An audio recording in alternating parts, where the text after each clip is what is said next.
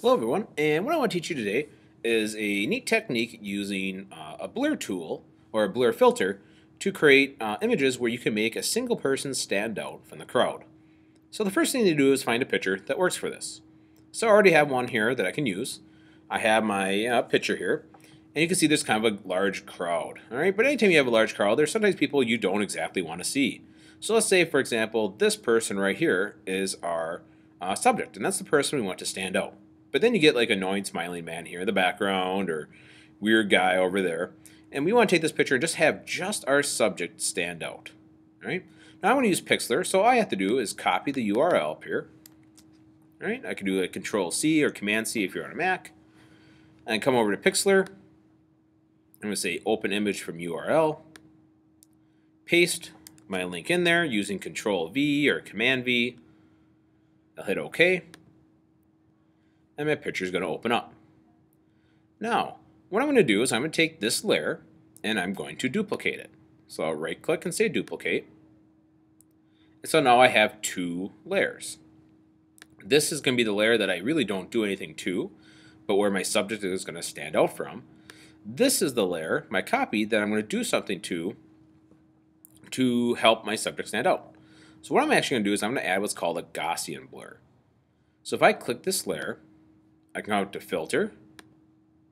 I can say Gaussian blur. And this comes up. I want you notice what Gaussian blur kind of does is it actually softens everything a little bit. And actually, compared to the original photo, it actually looks a little better with the Gaussian blur. But if I increase it, you can kind of see what happens to the photo. Now, I want it really blurred, so I'm going to crank it up all the way. You could try to play with it to try to create different blur effects to see what looks best. But I'll kind of, I'll crank it up here pretty high. I'm going to hit OK. So now we see I have a blurred layer, and if I hide that one, you'll see a non-blurred layer. So let's be on our blurred one. I'm going to click it, and I'm going to zoom in on our subject here a little bit.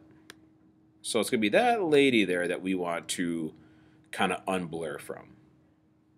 So I'm going to click my eraser, um, you may have to pick a different brush size. Actually, I think this one's probably pretty good. And what I can do, uh, we'll make it a little bigger.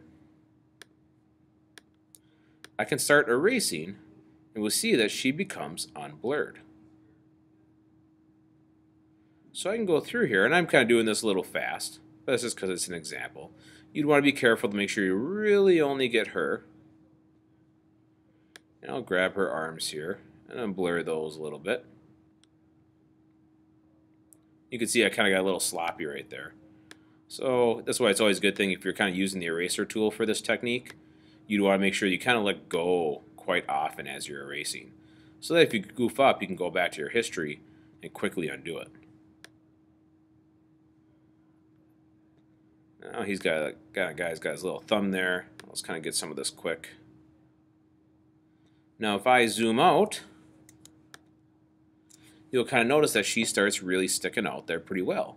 So even though it's a large crowd and it was kind of hard to make out one person, using this technique you can make uh, your subject either a person or it could be a plant, or it could be a sign somewhere you can make stick out really well. Now I would go and obviously take further time to go through and erase all the parts of her and make sure that I don't have anything else bleed through. Um, but this is just a little tutorial and that's how it works. All right, hopefully that's uh, kind of cool, something technique you can use. And uh, have a great day.